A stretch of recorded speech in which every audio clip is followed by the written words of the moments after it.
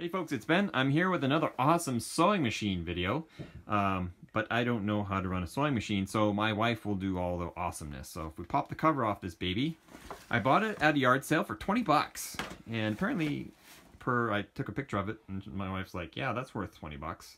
So let's fire it up. We're gonna do a full probably tear down maintenance on it before I probably resell it, but uh, let's do an operational video on it. We've got the Model 999.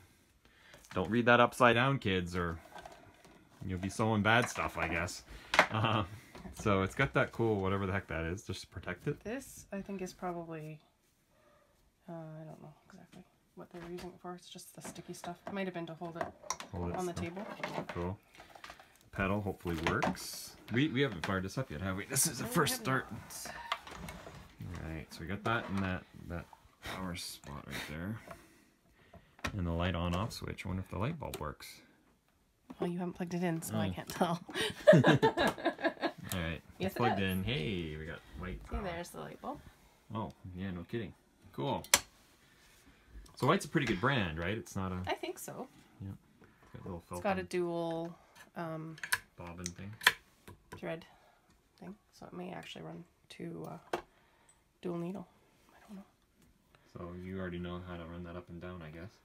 I guess if you know how to run a sewing machine, you kind of know how to do this stuff already. They're all the same mostly, right? And they are generally the same. Similar? Yeah. Some of the quirks are different. Right.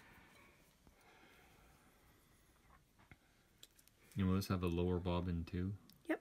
Always. Will that be compatible with like the Singer we had, or will it be a white specific?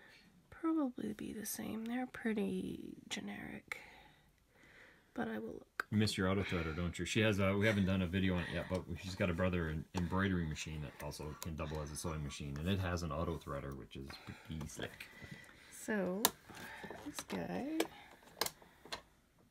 That's your back stitch, isn't it? Yeah.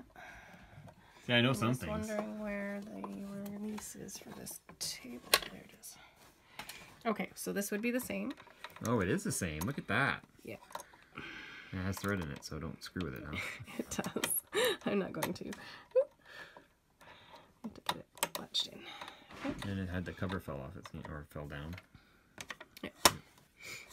Okay, and so this guy here is the feed dogs up or down. Oh, I see. So you can. See how that goes down? Yeah, remember on our Singer it was a separate lever, but this is just on the foot here. Okay. So that's good to go.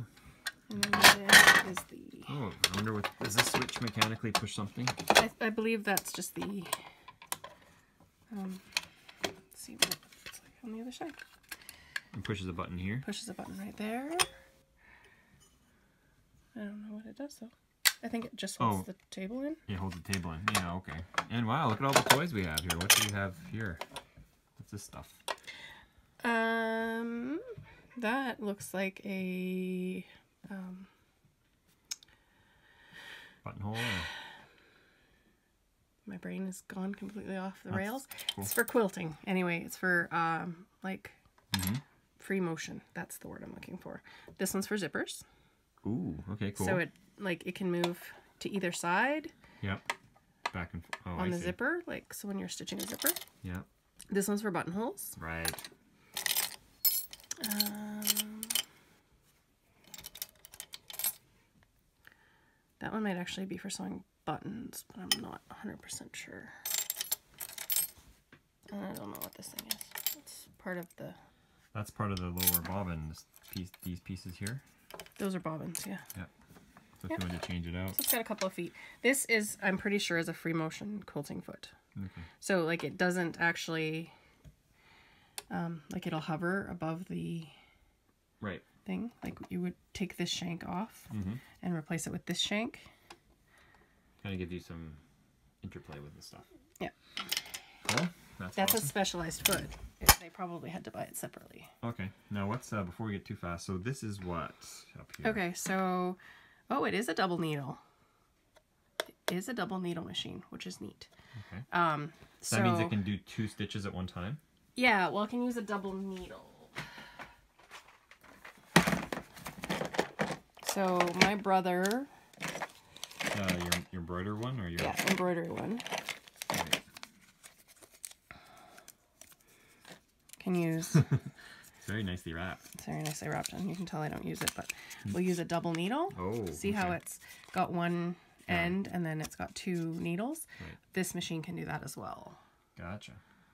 Depending on how you want it to zag with the double needles is where you pick this one here. Right. And okay, so then this um, Single says needle only. no, that's the section that tells you that these are the pieces that use for buttonholing. Oh, okay. Wow. Okay.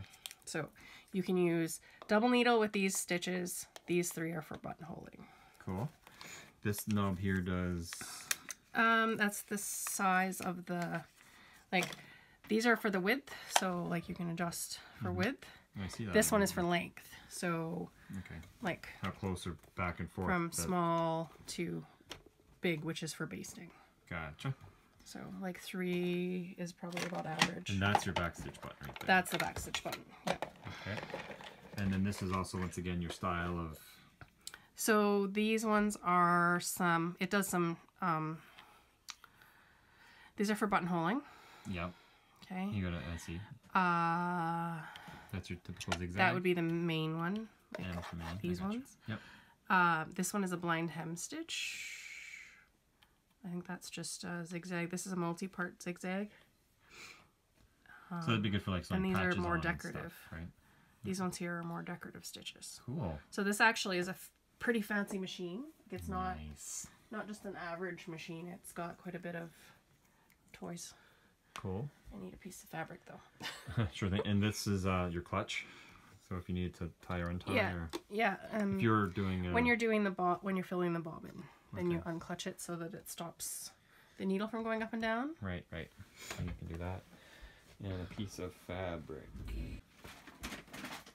All right, so we got some red fabric here, and all this is covered. I'm asking these questions just because it's cool for the video. But oh, and who used to own this? Looks like a Ruth. Crumb. Crumb. Okay. Now all this is explained clearly with pictures in the manual, but uh, I have someone who knows how to operate. You're trying so- to make me. Yeah, that's right. This is quiz time. Oh, one last thing. What does this thing do up here? That's the tension. So, oh, okay. I've heard of that. um, depending on how it sews, you can adjust that. Right. And there's a bobbin tension adjustment. We got it plugged in. We got the foot pedal going, so we're all and the feet are down. So if this thing works, in theory, you squeeze the pedal a little bit. Put it down upside down. Like I said, this is a pretty Pretty nice high-end machine, honestly. Oh, it purrs like a kitten too, doesn't it?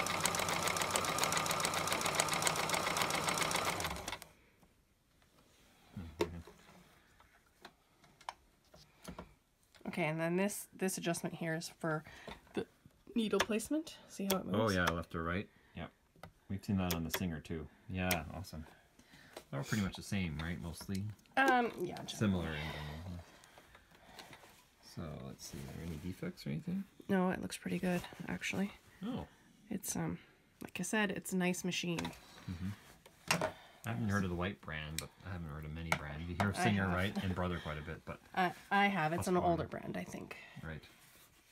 Well, that's cool then. But like I said, this is not a not an average machine. This is a pretty fancy machine. Um, yeah, so I think you should be able to see how it zigs.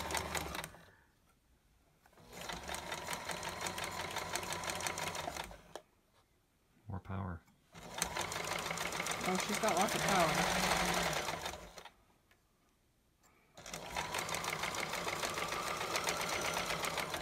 All the way. Oh, look at that.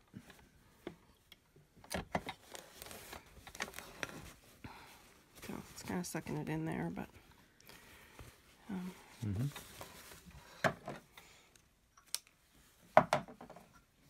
yeah, it's a nice little machine. Nice, nice, nice. And so when you take the table off, Right. then it becomes free arm. Oh, I see. That's why the free arm type of. Yeah, that's what having this smaller thing that you could say put in a sleeve sleeve or jeans or whatever. Yeah. called a free arm. Gotcha. So then this makes it more table right? For uh, honestly, I think that this machine was probably meant for quilting. Really? Yeah, just because it's got some of the fancier stitches and it does have that free motion quilting foot. Mm -hmm. Right. It's just a fancy one. See what those guys do. I don't know where that one's. Yeah. Okay. So, um, see how it has the three stitch there, and yep. this is in the green. Oh, I see. Those go. Those have to be like that. Otherwise it goes a little crazy. see what it does. In theory, the feed dogs will pull it as it needs to go. Mhm. In theory. I don't know enough about this machine yet to know how it's supposed to work, but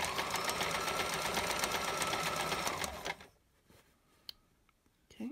Doing something. Yep. What? I'm not entirely sure, but it's doing some stuff. Okay, there we go.